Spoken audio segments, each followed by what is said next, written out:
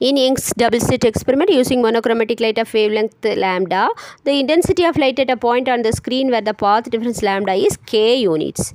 What is the intensity of light at a point where the path difference is lambda by 3? So இந்த ப்ராப்ளத்தில் என்ன கொடுத்துருக்காங்க அப்படின்னா ரெண்டு சோர்ஸிலேருந்து வரக்கூடிய ரெண்டு வேவ்ஸ் வந்து இன்டர்ஃபியர் ஆகுது அப்படி இன்டர்ஃபியர் ஆகும்போது அதோட பாத் டிஃப்ரென்ஸ் வந்து லேம்டா அப்போ அதோட இன்டென்சிட்டி வந்து கே யூனிட்ஸ் சப்போஸ் அந்த ரெண்டு வேவ்ஸோட பாத் டிஃப்ரென்ஸ் வந்து லேம்டா பை த்ரீயாக இருந்தால் அந்த இன்டென்சிட்டி எப்படி இருக்கும்னு கேட்டிருக்காங்க. சார் நமக்கு என்ன தெரியும்?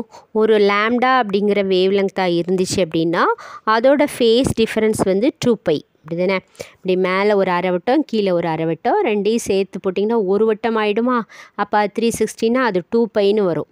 ஸோ லேம்டா பாத் லெங்த் அப்படின்னா அதோட ஃபேஸ் டிஃப்ரென்ஸ் வந்து டூ பை அப்போ லேம்டா பை த்ரீனா என்ன வரும்? Two pi by three so phase difference என்ன? Two pi by three path difference lambda by த்ரீயாக இருந்தால் ஃபேஸ் டிஃப்ரென்ஸ் வந்து டூ பை பை த்ரீயாக இருக்கும். அடுத்து அந்த பாயிண்டில் வந்து இன்டென்சிட்டி பார்க்க போகிறோம் முதல்ல இன்டென்சிட்டி ஃபார்மில் என்னென்னு பார்த்துருவோம். I is equal to I one plus I two plus two into root of I one I two cos pi இப்போ ரெண்டு வேவ்ஸ் வந்து ஜாயிண்ட் ஆகுது இல்லையா? அதோட இன்டென்சிட்டி அதனால் நான் இப்போ ரெண்டு வேவ்ஸோட இன்டென்சிட்டியும் சேமாக இருக்கிறதா எடுத்துக்கிறேன் therefore I one equal to I two therefore i1 I naught therefore I is therefore i I one plus I two two I naught வரும் plus two into plus 2 into i1 in i0 into i0 i0 square cos pi which is equal to இப்போ two I நாட்டை நான் வெளியே எடுத்துட்டேன் அப்படின்னா two I naught into one plus cos phi வரும் இது நீங்கள் மேத்ஸில் படிச்சிருப்பீங்க ஒன் ப்ளஸ் காஸ் பை வந்து two cos square pi by டூன்னு வரும். So I is equal to four I naught cos square pi by two இதுதான் நம்மளோட ஃபார்முலா ஸோ இதில் வந்து பாத் டிஃப்ரென்ஸ் வந்து லேம்டா பை த்ரீ அதோட ஃபேஸ் டிஃப்ரென்ஸ் வந்து two pi by three so pi இருக்க இடத்துல டூ பை பை த்ரீ போட்டுக்கோங்க. அப்போது டூ டூ கேன்சல் ஆகி பை பை த்ரீ மட்டும் வரும். Cos sixty is equal to one by two அப்போ one by two the whole square என்ன வரும்? ஒன் பை ஃபோர் வந்துடும் so four I naught into one by four four four cancel ஆகி I naught மட்டும் கிடைக்கும்.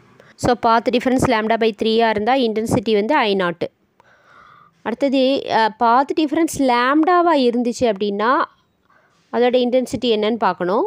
So general ஃபார்முலாவில் நான் வந்து பாத் டிஃப்ரென்ஸ் வந்து டூ பை சப்ஸ்டியூட் பண்ணுறேன் அப்போது I is equal to four I naught cos square pi by two எடுக்கிற இடத்துல I is equal to four I naught cos square two pi by two கிடைக்கும்.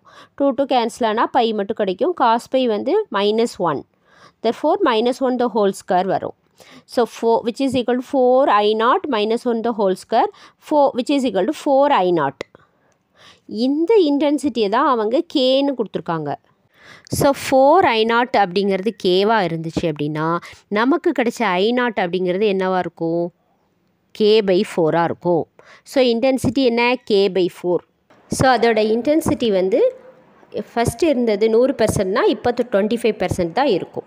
So இந்த மாதிரி problems பார்க்க like பண்ணுங்கள் share பண்ணுங்கள் சப்ஸ்கிரைப் பண்ணுங்கள் தேங்க்யூ